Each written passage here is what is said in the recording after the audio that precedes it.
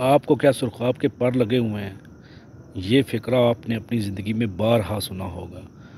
लेकिन आपने शायद ज़िंदगी में सुरखाब ना देखा हो। तो ये सामने नज़र आने वाला जनाब सुरखाब है। ये दुनिया के हसीन तरीन परिंदों में से नंबर वन पे आता है। ये सामने आपको नज़र आ रहा है। इसके कलर कंट्रास्ट देखें। माशाल्लाह, इतने प्यारे प्यारे कलर कलर हैं। मैं इसको आपको करीब से दिखाता हूँ। तो जब इसकी मिसाल क्यों दी जाती है? क्योंकि ये हसीन तरीन परिंदा है। तो ये देखें जनाब, इसकी गर्दन के इर्द गिर्द जो है ना, माशाल्लाह कितने प्यारे किस्म के कलर हैं और कितनी इसकी प्यारी गर्दन है। पूरा जिसम इसका जनाब रंगों से भरपूर और भरा हुआ है। इसकी टेल कितनी खूबसूरत है, इसकी चाल जो है उसमें कितनी नफासत है। बहुत ही खूबसूरत होता है, माशाल्लाह। देख, देखें आप इसकी चाल देखें। अभी मैं आपको मेरे पास तीन से चार तरह के मसन सुरखाब है। मैं उस, उनकी मुकम्मल डिटेल आपको देता हूँ, उसकी फिजिबिलिटी देता हूँ, कितने में आता है, खुराक में क्या होता है, कैसे पाला जाता है, कहाँ से मिलता है। तो जनाब, ये जो सामने नज़र आ रहा है, ये है जनाब रेड गोल्डन फीजेंट इंग्लिश में सुरखाब को फीजेंट कहते हैं और ये सामने जो नज़र आ रहा है, ये है जनाब वाइट दूसरा सिल्वर फीजेंट है ये।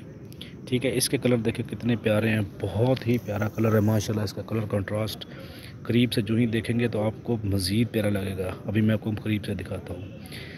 इसमें यह होता है, इसको रखने का अंदाज़, तरीक़ेकार ये होता है कि एक मेल के साथ आप दो फीमेल रखते हैं।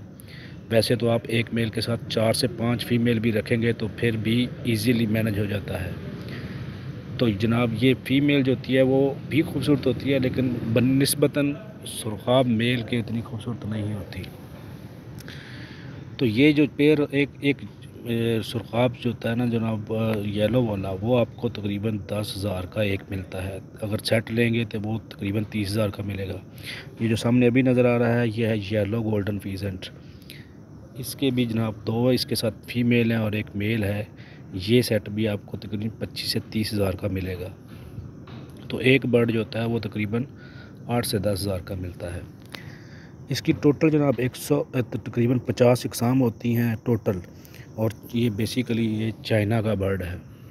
इसमें मसलन ये चाइना का बर्ड है तो इसमें ये होता है कि आपने इसको रखने के लिए मट्टी जो होती है ना, वो मट्टी वाला माहौल देना था। सामने देखें, आपको मट्टी नज़र आ रही होगी। मट्टी में ये अपनी चूँच शूच मार रही है, फीमेल, मेल को कभी इधर जा रहा है, कभी इधर, उधर जा रहा है।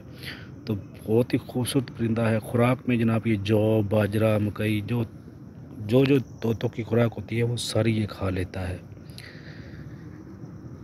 तो मसलन हशरात इंसेक्ट्स ये वगैरह भी चीज़ें खा लेता है। इसको आपने टाइम ज़्यादा, मसलन ये टाइम टेकिंग नहीं है।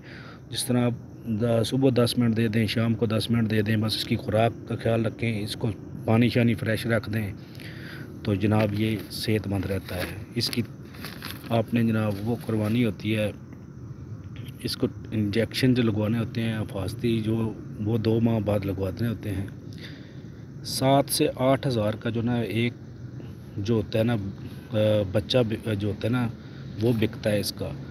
तो जब नार और पाँच से छः माह का हो जाता है ना, जब ये बर्ड तो इसमें मेल और फीमेल कन्फर्म हो जाती है।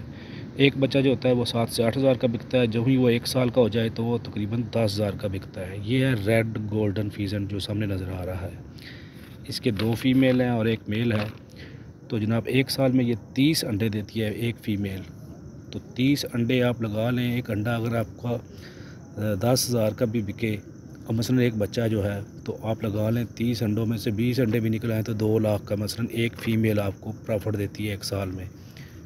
ये तकरीबन मार्च से लेकर जुलाई, अगस्त तक ये तीन से चार क्लच देती है। उसमें तीस अंडे दे देती है। तो एक जो होता है सेट जो होता है ना बेसिकली सेट पे रखा जाता है एक मेल और दो फीमेल ज़्यादा भी रख सकते हैं। रेड गोल्डन फीजन जो होता है, ये थोड़ा सा महँगा होता है। ये आपको तकरीबन पैंतीस हज़ार का सेट मिलता है। इसमें आपको केज जो होता है, उसका ख्याल रखना होता है कि केज की लंबाई आपकी आठ से दस फुट होनी चाहिए। और उसकी चौड़ाई जो है वो तकरीबन पाँच से छः फुट होनी चाहिए। तो ये तोतों की खुराक खा लेता है। तो इसमें यह होता है कि आपने इसका इसका अगर आप शौक़ के तौर पर रखना चाहते हैं तो आप छोटी से शुरू कर सकते हैं। वैसे तो फीजन जो है ना वो चार चार लाख का भी होता है। पाँच से दस हज़ार वाला मसलन आप पेड़ ले लें उसको पालें साल के लिए उस पर एक्सपेरिमेंट करें, उसके बाद जब आप इसको सीख जाएँगे तो उसके बाद जनाब आप रेड गोल्डन पे भी जा सकते हैं और महँगी म्यूटेशंस पे भी जा सकते हैं। तो ये बहुत ही अच्छा शौक़ भी है और बहुत मुनाफा बख्श कारोबार भी है। अगर आप इसको कारोबार के तौर पर लेना चाहते हैं तो कारोबार भी कर सकते हैं। लेकिन आप इसको प्रॉपर इसकी केयर करनी पड़ती है। गर्मियाँ जो होती हैं, गर्मियाँ इसके लिए आइडियल माहौल होता है। सर्दियों में भी ये तो सर्दियाँ भी इसको ज़्यादा अफेक्ट नहीं करती। लेकिन ये दोनों मौसमों में सर्वाइव कर जाता है। लेकिन अकॉर्डिंगली मौसम के लिहाज से आपको इसका ख्याल रखना पड़ता है। तो अगर आपको जनाब मेरी इन्फॉर्मेशन वीडियो जो अच्छी लगी हो तो कहली मेरे चैनल को ज़रूर सब्सक्राइब कीजिएगा वीडियो को लाइक भी कीजिएगा शेयर भी कीजिएगा, ताकि मेरे आने वाली नेक्स्ट वीडियो आप तक पहुँच सके। तो ये सामने जनाब आपको नज़र आ रही है फ़ीमेल अभी मैं आपको जनाब मेल का नज़ारा दिखाता हूँ। ये मेल देखें कितना प्यारा है, इसकी पूरा देखें आप इसकी